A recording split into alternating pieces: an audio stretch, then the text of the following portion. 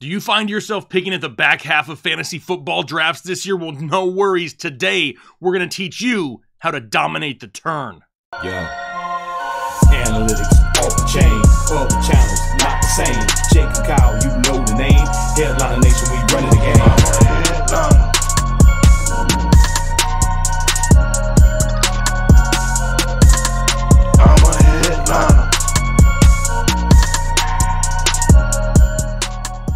What is going on, Headline Nation? Jake, Fantasy Headliners. Hopefully, everybody's doing well out there today. We're going to be talking about how to dominate the turn in your fantasy football drafts here in 2022. Now, before we get into this mock draft, which we're going to follow along together with, I gotta, I gotta make sure. Have you guys signed up for our viewer leagues yet?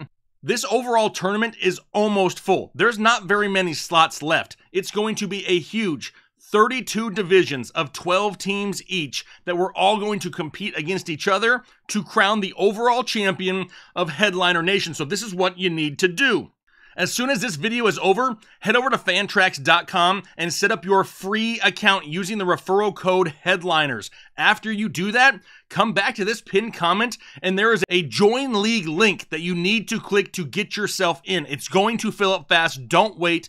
Do it right now. Looking forward to doing that. Prizes are going to be announced here pretty soon, but it's free for you to enter. So no matter what they are, it's going to be like money in your pocket, right? It's money out of my pocket, but it's going to be going to you, the community. So we're looking forward to doing that. And then, secondly, don't forget, we're getting dangerously close to giving away this signed throwback full size Aaron Jones Packers helmet. In order to get in on that giveaway, all you gotta do is have your free account signed up at Pristine Auction using the code word headliners, and then get your draft guide ordered by July 31st. We're gonna pick a random winner, and as long as you have yours purchased by that time, you are entered into the giveaway. Looking forward to announcing that. But now is the time where we're gonna dive right into the draft. Let's just talk ourselves through it, have a good time with it, and kind of be honest about what could have gone a little bit differently. Let's take a look.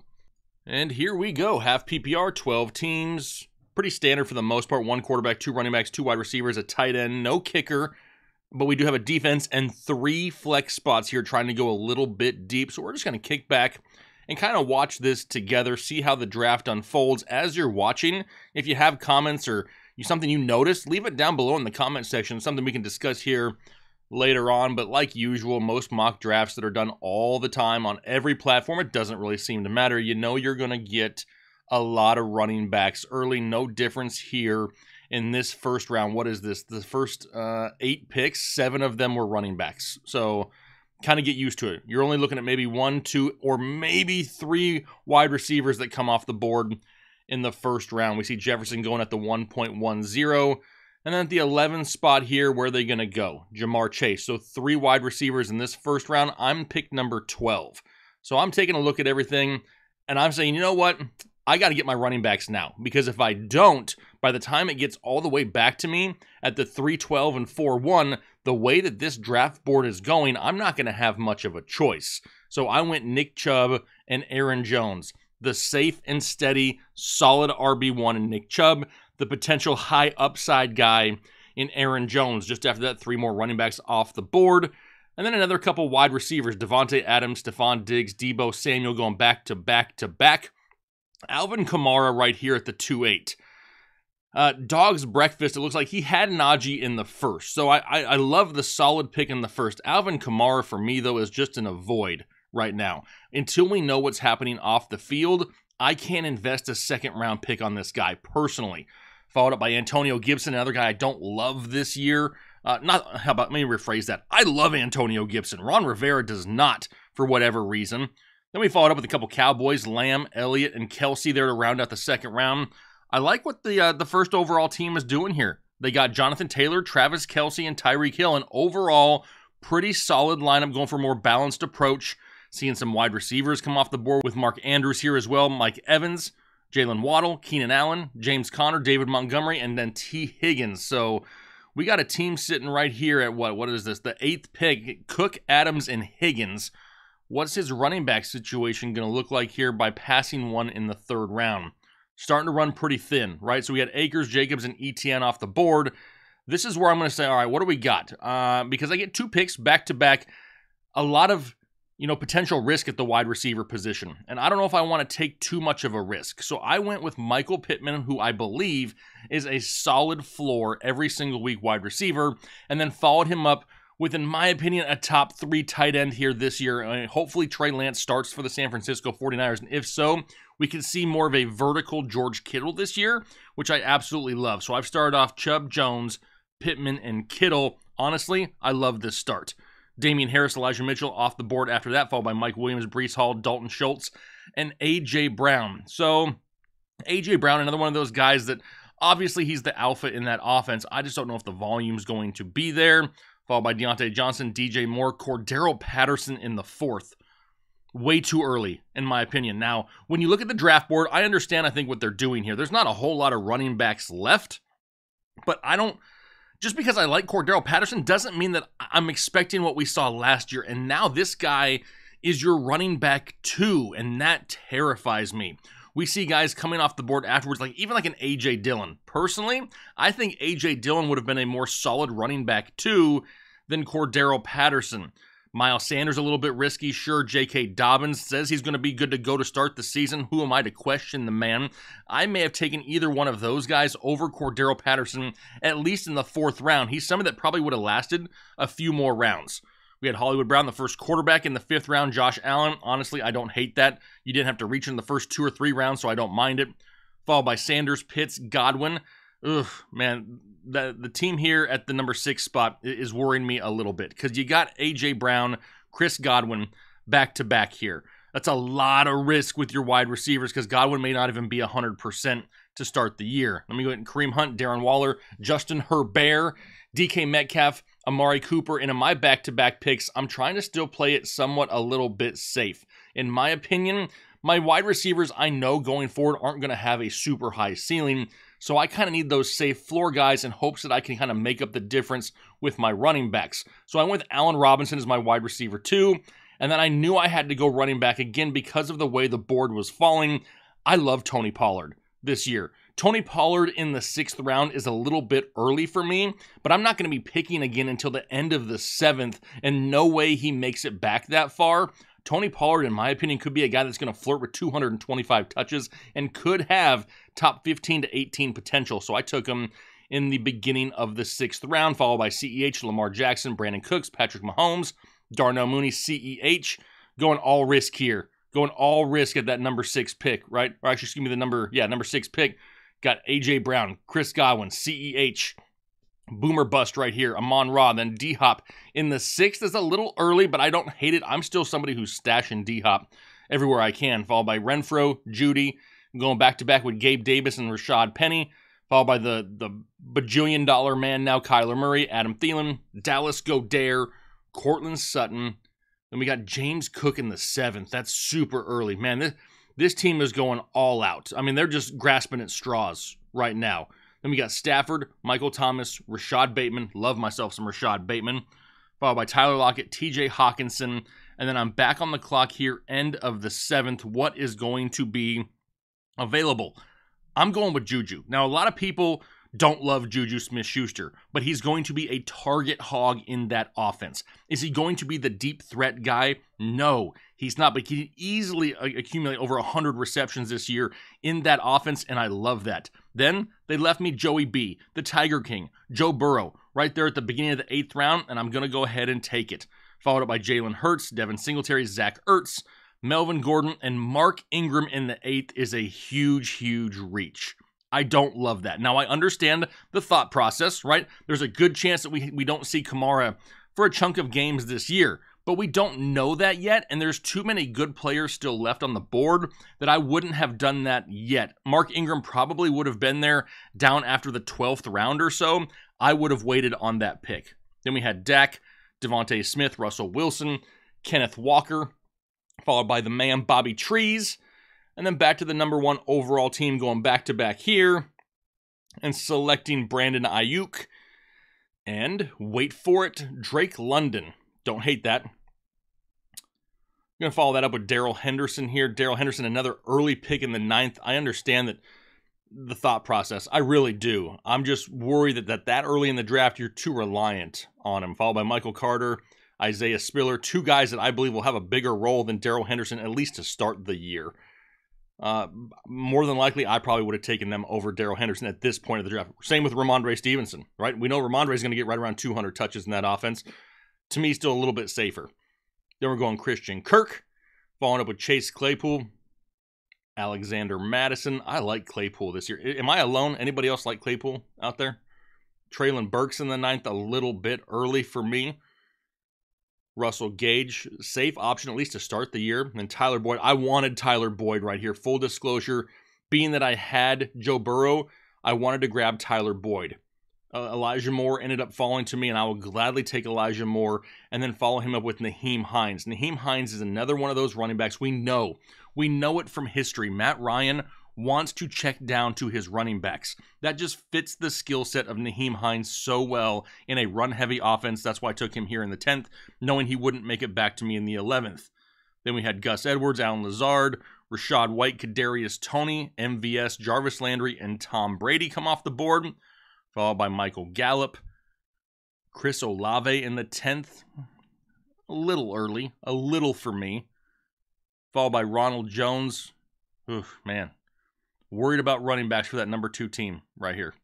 Going back to back with Darrell Henderson and Ronald Jones. Luckily, you got a running back early. Team one following up with Aaron Rodgers, Kenneth Gainwell. Coming back here to the number two overall team. I think it says Mr. McKinney, McKinsey. A defense.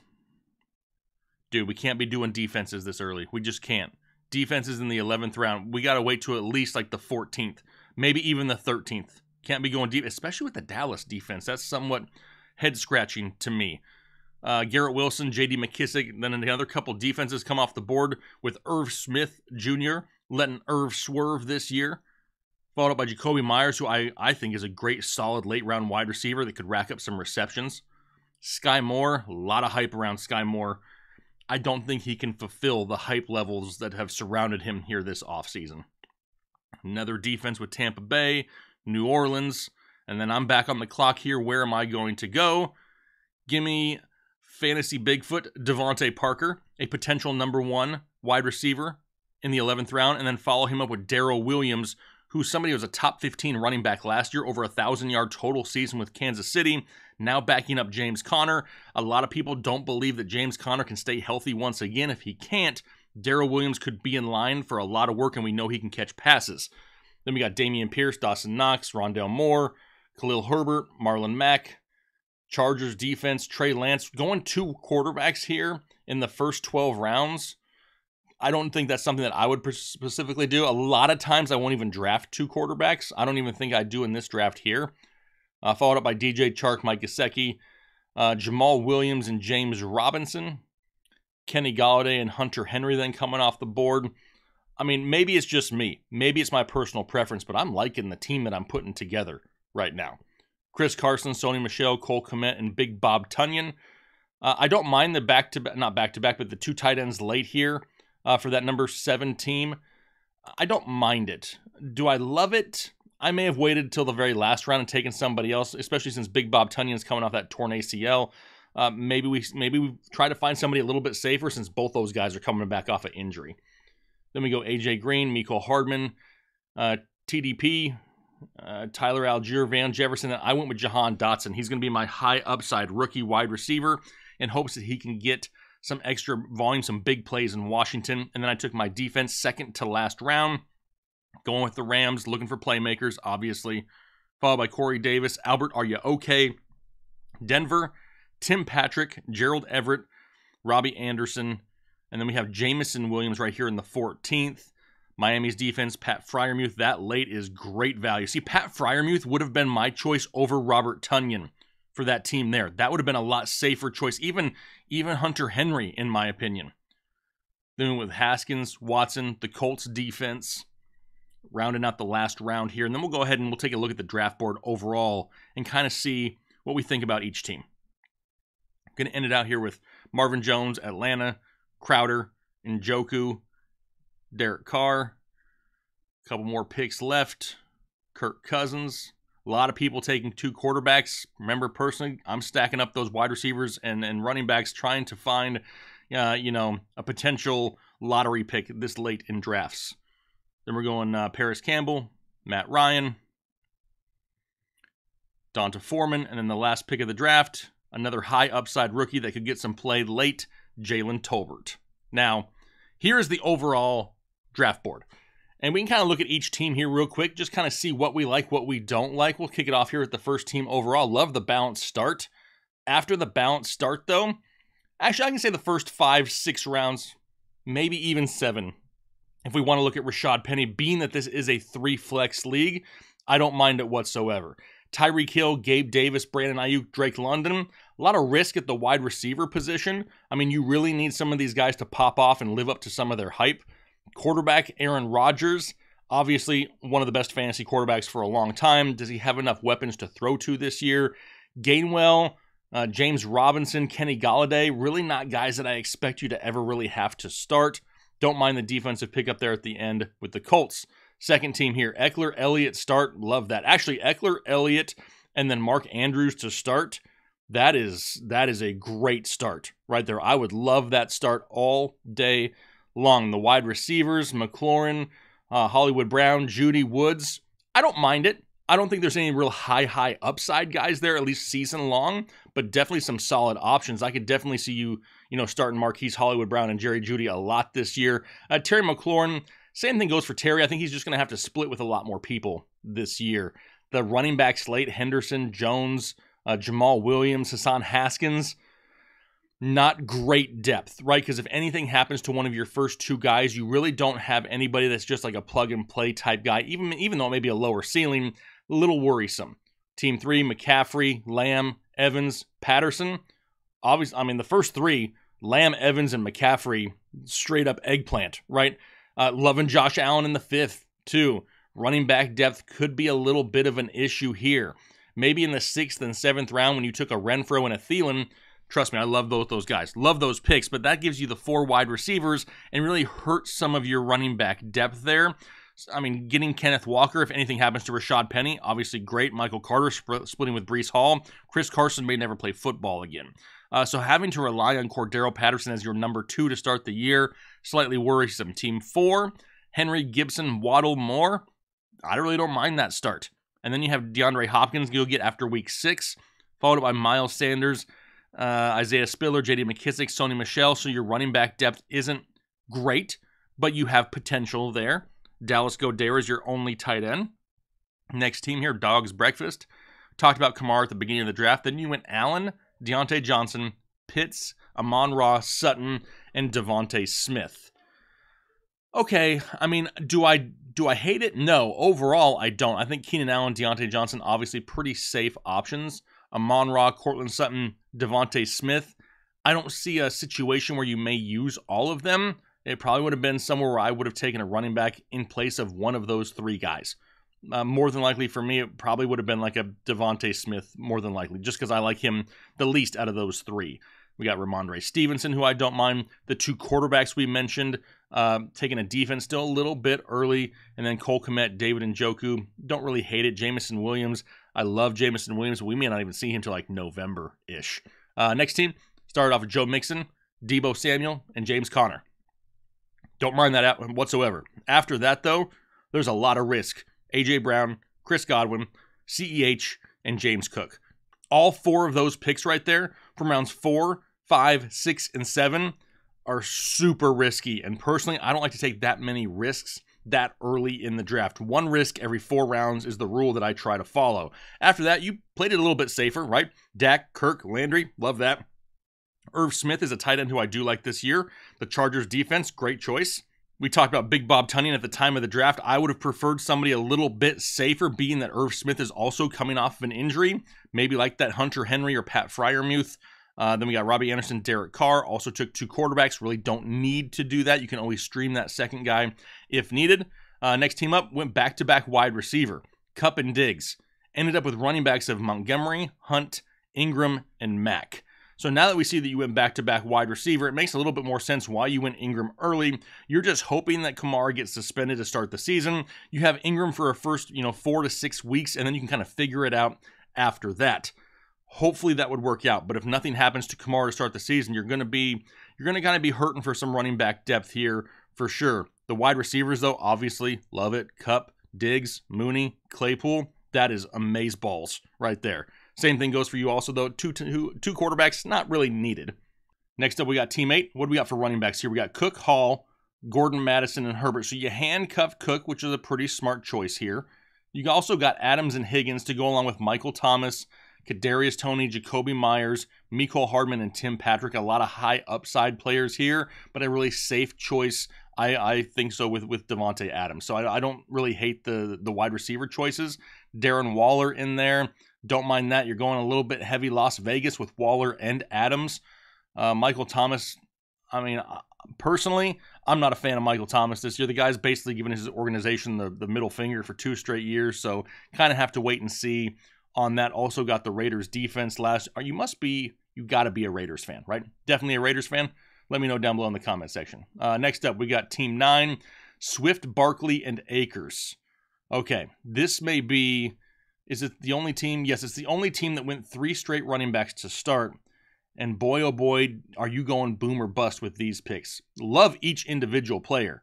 But D'Andre Swift is somebody who we haven't really seen in a huge role as of yet. We expect it this year, but we haven't seen it yet. Saquon Barkley has disappointed a lot of people for a couple years. And then Cam Akers, still kind of recovering, coming off of a torn Achilles, didn't look like himself in the postseason of last year. So we really haven't seen much of him this year either. A lot of risk right there for your wide receivers. Williams, Cooks, Bateman, absolutely love that. I think you got great value with Cooks and Bateman there, and they could be the safest options for you weekly. And then Mike Williams slots into one of your flex plays. You got Ertz, Burks, White, Skyy Moore, Rondale Moore. You got something for the last name Moore here. I'm thinking a lot, a lot more in this team. TD Price, Denver, and then Parris Campbell at the end. Overall, solid. A lot of risk with this roster though. Next up, the tenth team: Jefferson, Javonte, Josh Jacobs, and Elijah Mitchell. I don't mind that. I really don't. Being that you went wide receiver first and still ended up with Javonte Jacobs and Mitchell, that could have ended up a lot worse. So you still got your stud wide receiver one. You may not have the overall, you know, huge, huge ceilings at running back, but you got safer options. So I absolutely love that. Then you followed up with DK Metcalf and Tyler Lockett. Don't know if I would have taken both DK and Lockett, both Seattle wide receivers, in an iffy situation with the quarterback there. Probably wouldn't have done that. Lamar Jackson, Devin Singletary. Probably going to lose a lot of work to James Cook, Russell Gage, Allen Lazard. I don't mind Russell Gage there whatsoever. Allen Lazard could definitely see some targets. Then Tampa Bay, Knox, Albert Aoyuka, Tyler Allgeier, and Matt Ryan. Another late quarterback that I probably would have just taken a stab on running back or wide receiver. The number 11 team went Chase, Fournette, Etienne, and Harris. So same kind of situation as the team prior. You know, wide receiver one, followed up with three straight running backs. And honestly, I don't hate those running backs either. Leonard Fournette, Travis Etienne, and Damien Harris. You have a, a, mixture of pass catchers with both Fournette and Etienne, and a solid ground and pound guy that has touchdown upside in Damien Harris. So honestly, don't dislike that either. The wide receiver two and Amari Cooper. That's going to be a big if with whatever happens to Deshaun Watson. Then you also got Chase Edmonds, TJ Hockenson, Jalen Hurts, solid choice there. Tyler Boyd, who you sniped me on. Gus Edwards, mm, maybe didn't need Gus Edwards right there. Maybe you could have taken maybe like a Rachaad White instead and kind of handcuffed Leonard Fournette a little bit. Then we got the Saints, Dameon Pierce, Van Jefferson, who I do love late as well, Corey Davis, and, Dev- and D'Onta Foreman. Then, lastly, my team. Obviously, we talked about it as we went through, but we got Chubb and Jones with Pollard, Hines, and Darrel Williams. Now, I will be the first one to admit that I wish I had a more solid running back three. I kind of got my two running back two slots filled, right? RB1 and RB2 filled with Chubb and Jones. 100%. Pollard, Hines, and Williams. I'm going to need one of those guys to pop off. Now, obviously, we're going to practice what we preach around here, right? And I'm big on Tony Pollard, and that's why I took him where I did with high expectations. For wide receivers, I think I have a lot of depth at wide receiver. Michael Pittman, Allen Robinson, Juju, Elijah Moore, DeVante Parker, and Jahan Dotson. I'm probably going to be starting a lot more wide receivers every week than I will be running backs, but that's okay because I feel like all the guys that I got have the opportunity for 100 plus receptions, maybe with the exception of Jahan Dotson and Jalen Tolbert there at the very end, right? Two rookies that I kind of just took a stab on late. But Parker, Moore, Juju, A Rob, and Pittman, I think we I don't think any of us would be surprised if all of those guys had over 100 receptions. Maybe not huge touchdown totals, but a ton of receptions. Followed up with George Kittle. Didn't take a second tight end. There will be others I can probably stream at some point. Maybe even it's like a Hayden Hurst. I can pair him up with Joe Burrow if needed at some point. Uh, but yeah, overall, solid team. I, I don't dislike that team whatsoever. I don't know if it has a huge, huge ceiling, but it's a definitely a safe floor team here at the number 12 when you're going in back to back picks. But like I said during the draft, if you're going to invest this much time into mock drafting and having a good time with it, you might as well not only be critical of others, but be critical of yourself too. Like I said during the draft, I probably should have taken another higher tier running back to give me some more added depth. I didn't. I'm self critical because of that, and that's what's going to make me better going forward, and it's going to make you better as well. So make sure after you mock draft, you take a look at the overall draft board and really dissect what you should have done differently, and then go at it again and see what you come up with. I guarantee it's going to make you a better fantasy football player. Now, I didn't set a like goal at the beginning of the video. I didn't want to get too wordy to start off with, but there is going to be a like goal. So if you want to be in the running for a free draft guide, we got to get this video over a thousand likes. So hit that like button, leave a comment down below of what you thought about this draft, and I look forward to interacting with you guys down below there. I'm trying to be as interactive as I can. I'm trying to respond to as many comments in every single video. I sit there in bed every night with my phone and I just answer comments, probably for longer than I should. It's probably the reason why I don't sleep very much, but I'm trying to make sure that you guys have that opportunity to interact back with us. So hopefully you enjoy that. If you haven't subscribed yet, please do. Welcome to Headliner Nation. Come join the family and be a part of the brother and sisterhood that is an absolute domination of fantasy football. But until the next video, I'm going to hop out of here now for the day. Hopefully you guys have a great rest of your day, a great week. We'll talk to you later.